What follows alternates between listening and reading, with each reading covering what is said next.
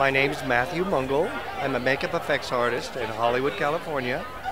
And uh, my company and I do CSI, NCIS, tons of movies, and uh, our new show called uh, Salem on WGN. I loved watching monster movies when I was a kid. Just loved watching how they transformed actors into different characters and how the actors portrayed those characters after they were transformed into that character. And what was it? It was makeup. So I, it just got into my blood. It was very creative. And it was on a, instead of painting on a flat surface, it was on a contoured dimensional surface.